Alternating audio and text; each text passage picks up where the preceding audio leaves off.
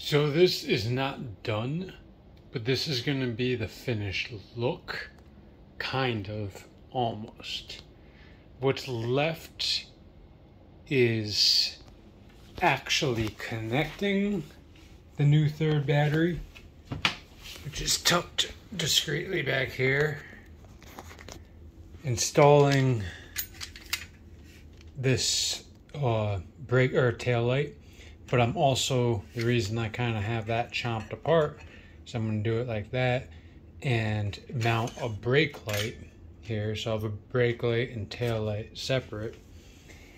Uh, I am putting a windshield on it, so I'll have some aerodynamics, which should help. And I am fattening up the tires. So this is a mountain biking tire with terrible rolling resistance and it's tough to see, but basically the uh, the treads are not energy efficient. Um, this is a 1.9, I believe. I'm gonna go to a 2.2, but with a road tread uh, and armored. And then um, this is like a 1.6, and this is a road tread uh, but I'm going to up it to a 2.2 anyway. So I'm going to have two road tires instead of one road tire, one dirt bike tire or off-road tire. And uh, I'm going to fatten them up a little bit. Like I mentioned, I'm getting a new controller. This isn't the one that I was having problems with before. This is a different one.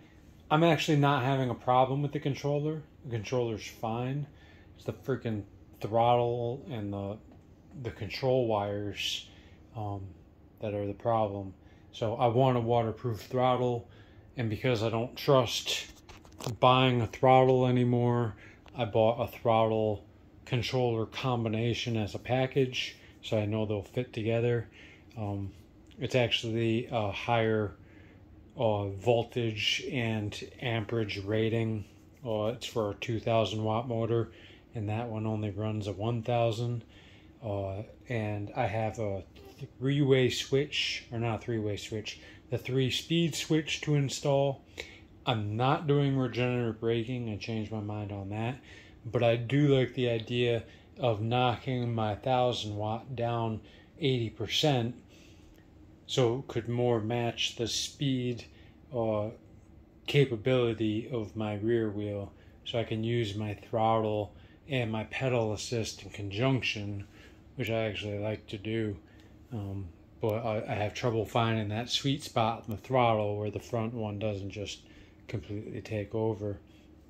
Oh, I like the seat look with it being higher, and uh, yeah, that's I it's pretty much perfect. The rear's maybe a half inch higher than I want it, but it's a good look. This thing is, it doesn't look good opened up on that side, but this thing is a beast. I am very happy with it.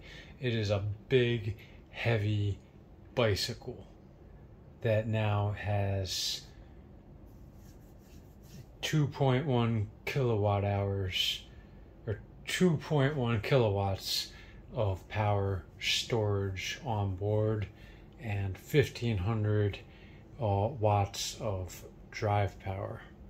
So it's perfect for me for what I'm trying to do, and I'm I'm really having fun with this as a hobby. It's uh, I'm exhausted working till one o'clock in the morning on this thing last night, and then I got home from work today and I, I don't know what time it is. I have to eat dinner, but this thing is just fun to work on. I get a part, put it on, make an adjustment, watch a video, find out about improvements, and continue to upgrade the bike. Although at this point, it's overkill. The the fat tires, uh, are I think the end of of putting money into this thing. I'm officially up to about $2,500, uh, including the tires and the battery splicing component, which hasn't come yet and isn't going to come for a month.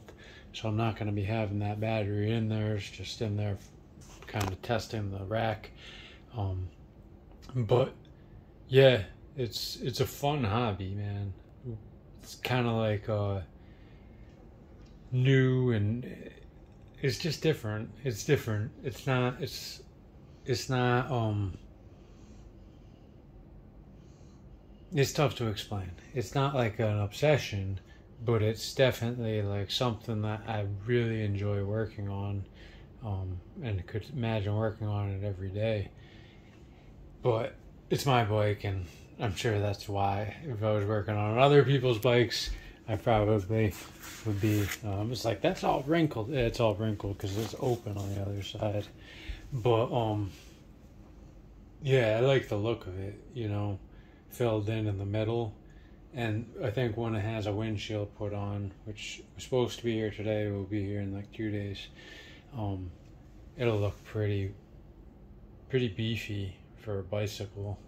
Pretty beefy for a bicycle. I think that's gonna be her name. Pretty beefy for a bicycle.